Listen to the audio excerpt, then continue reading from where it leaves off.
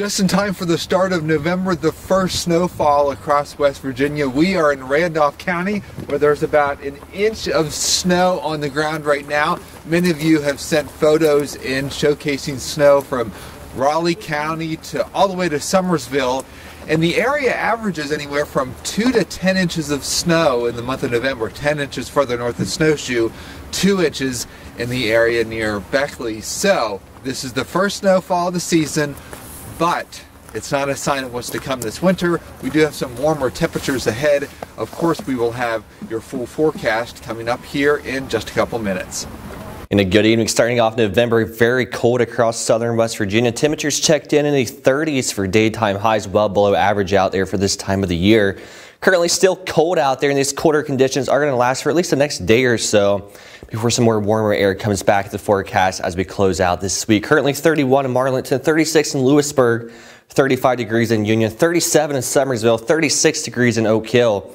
Currently checking in at 39 as you go into Welch. Temperatures turning even cooler as we go into your overnight. Take a look at these temperatures as you're waking up for school and work tomorrow morning. Could even see some upper teens in the highest elevations. The rest of the region seeing those temperatures in the 20s for your morning commute tomorrow, so definitely bundle up.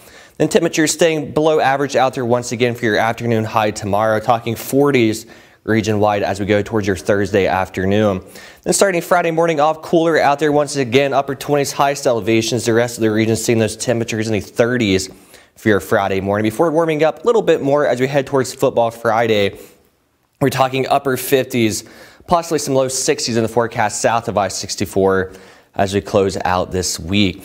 Looking at those temperatures over the next five days, we are staying below average out there one more day as we go into Thursday. Could reach upper 40s to low 50s across southern West Virginia, but still below average out there temperature wise. Warming up nicely as we close out this week, though upper 50s in the forecast Friday.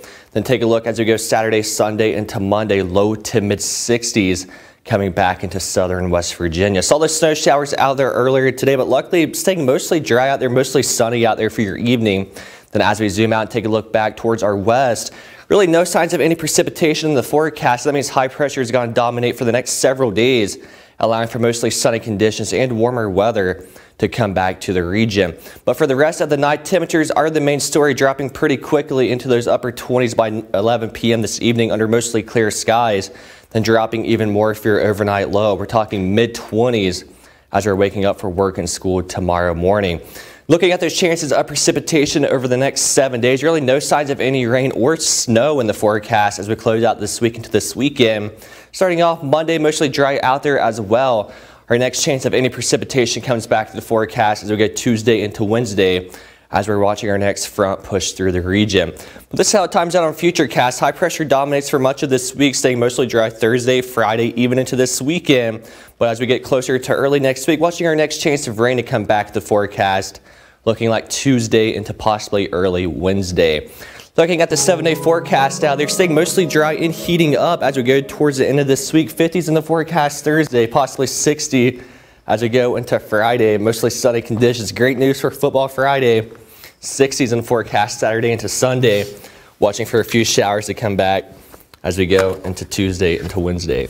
Braden, it's pretty wild the roller coaster that we've had in weather the last couple weeks. 70s two weeks ago. This past week's been freezing. Snow this morning. How to turn the heat on now we're getting, my house yeah, today. same. And now we're getting back up to the 60s. Yeah, it went from heat to the air conditioner in, just a span of a couple days. Yeah. Look, as long as the sun's out, I'm pretty happy. Yeah. What about if it's cold out, though? No, no. I mean, it's okay as long as the sun's out. Yeah. I mean, I'd rather it be warm, but if the sun's out, I'm good. Well, 60s and sun this weekend, I'll definitely take that. I'll take that, no doubt. we'll be back with more right after this.